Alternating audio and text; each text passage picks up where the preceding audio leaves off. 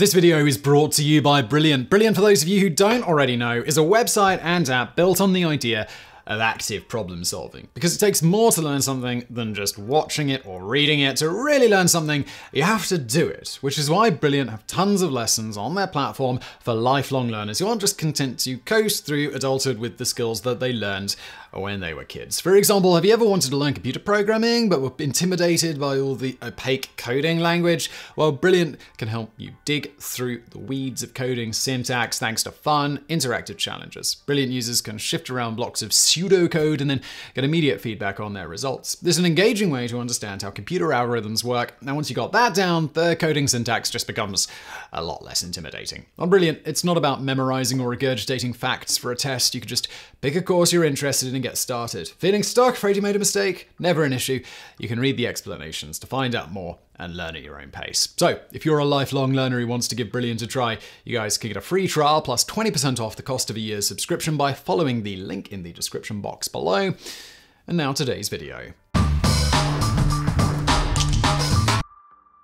If you're the kind of person who likes to frantically run around when agitated, at some point somebody has probably compared you to a chicken with its head cut off. As unlikely as it might seem, this idiom is in fact based on a real life phenomenon. The nervous system of chickens and other birds is more widely distributed than that of other vertebrates, meaning that unless the entire neck is removed, a bird can retain many of its autonomic functions, such as the ability to breathe, regulate its heartbeat, balance, and run around. Typically, this zombie like phase lasts around 15 minutes or so until the bird finally bleeds to death from the open wound. But in April of 1945, one recently beheaded rooster apparently failed to get the memo and just kept on going and going and going, lasting an astonishing 19 months before finally going to the great chicken coop in the sky. This is the bizarre tale of Miracle Mike, the amazing headless chicken, and his owner, who made a shocking amount of money on him.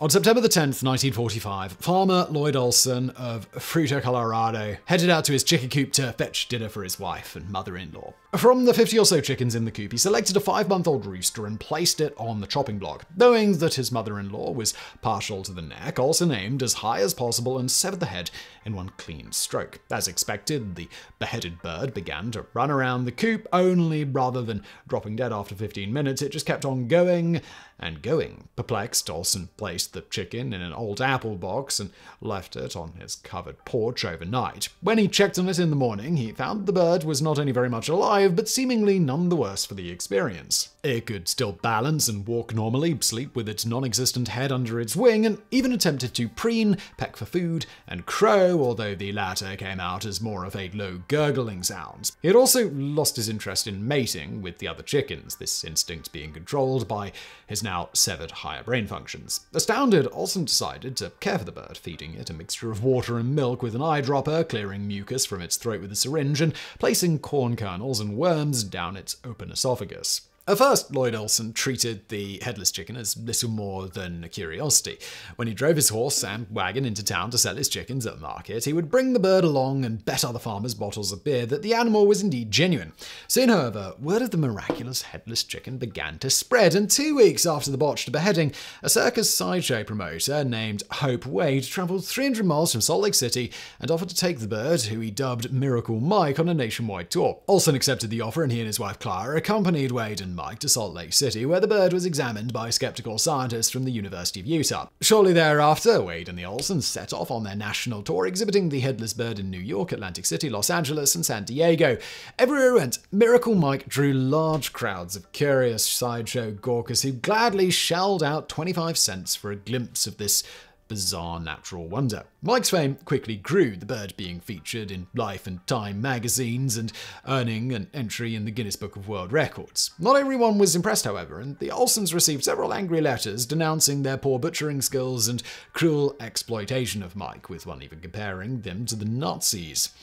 Other letters were even more bizarre, with one sent from Alaska requesting that the Olsons exchange one of Mike's drumsticks for a replacement wooden leg. But still, the crowds kept coming, and at the height of Mike's popularity, he was valued at $10,000 and earned Wade and the Olsons $4,500 per month, equivalent to $115,000 and $52,000 today, respectively. And through it all, Mike seemed to thrive, growing from a mere one kilo to a robust and healthy four. After completing the California leg of the tour, the Olsons returned to Fruita to bring in the harvest, leaving Wade to continue touring the southwest United States. The Olsons returned to the sideshow circuit in the spring of 1947, but soon, while exhibiting Mike in Arizona, disaster struck. On the journey home, the Olsons stopped for the night at a motel in Phoenix, where, in the early morning hours of March the 17th, Mike began choking on a corn kernel. The Olsons realized to their dismay that they had left the syringes used to clean Mike's throat back at the sideshow, and as they looked on helplessly, Mike passed away, an astonishing 19 months and a week after being beheaded. Olson never revealed what he did with Mike's body. According to his great grandson Troy Waters, he likely dumped it by the side of the road to be eaten by coyotes. But Mike and the Olsons had a remarkably good run, with Lloyd Olson using his earnings from the sideshow tour to buy a hay baler, two tractors, and a brand new pickup truck. He also cherished the opportunity he had been given to tour the country, as Waters later recounted. I asked him if he had fun. He said, Oh, yeah. I had a chance to travel around and see parts of the country I probably otherwise wouldn't have seen. I was able to modernize and have farm equipment. But it was something he put in his past. He still farmed the rest of his life, scratched a living out of the dirt. But while Miracle Mike is no more, his legend still lives on. Since 1999, the Olsons' hometown of Fruita, Colorado has lovingly embraced their bizarre claim to fame, holding an annual Mike the Headless Chicken Day, the third weekend of May. The festivities include such events as a 5k run like a headless chicken race, a car show, a disc golf tournament, an egg toss, pin the head on the chicken, a chicken clark off, and a strangest of all, chicken bingo, in which chicken droppings on a numbered grid choose the numbers. But all this brings us to the obvious question just how did Mike manage to survive his rendezvous with the chopping block? Careful examination by University of Utah scientists revealed that Lloyd Olson's axe had completely missed Mike's jugular vein and left most of his brainstem intact. The brainstem, which controls an animal's autonomic functions like breathing, heart rate, and digestion, extends further back into the neck in birds compared to other vertebrates. Birds also possess a secondary balance organ further down the spine known as the lumbosacral organ, allowing them to maintain their equilibrium even if the regular vestibular system in the inner ear is destroyed. But Mike's survival also owed much to an extraordinary stroke of luck, as a blood clot had fortuitously blocked his carotid artery and prevented him from bleeding out. Indeed, there seems to be something strangely supernatural about Mike's condition, for repeated attempts by University of Utah students to sever chickens' heads in the same manner failed to yield similar results. However, other long lived headless chickens are known to exist, including one who survived for three months in Arizona in 1947. So the next time you're feeling unmotivated, just remember that a rooster once managed to gain nationwide fame and earn tens of thousands of dollars in just a year and a half, and all while not even having a head. So, what's your excuse? Bonus facts. From around 250 to 66 million years ago, various dinosaurs roamed the Earth. Today, the only dinosaurs left are birds, which are Coelurosauria theropods, funnily enough, the same subgroup Tyrannosauruses belong to. Think about that the next time you enjoy a McDinosaur sandwich or scrambling up some dinosaur eggs for breakfast. Speaking of chicken oddities, while a double yolk chicken egg is something we're sure all of you have seen at one point or another, it turns out there is a much more rare phenomenon where a chicken may lay an egg with an egg inside, which we shall henceforth call the exhibit egg. A wonderfully bizarre nesting doll made of protein and disgusting, when you think about it, deliciousness. As you may or may not know, a chicken is capable of laying hundreds of eggs in a given year, and the presence of a male isn't needed or required for this to happen. It's only necessary if you want to have the eggs fertilized. As such, hens can happily lay a near endless stream of eggs throughout their lives with no problem, assuming they don't decide to start brooding. To make sure this doesn't happen, one simply has to remove the laid eggs regularly. What you might not know, though, is that a chicken can't lay an egg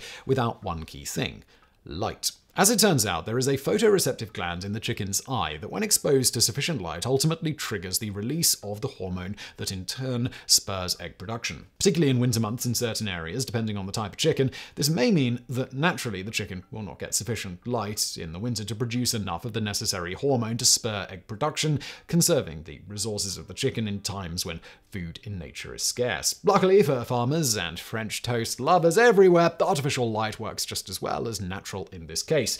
Once the egg has been released into the chicken system, it is joined by a smaller disk of nutritional matter, better known as the yolk, while the chicken's uterus fills with albumin, egg white. Once this cocktail is done floating around in the chicken system, a thin inner membrane from the inside of the chicken's uterus forms around the egg. After this, a more sturdy outer membrane, mostly consisted of calcium carbonate, forms around the whole thing, creating a chicken egg as we know it. This ultimately gets expelled from the same orifice that the chicken poops out of.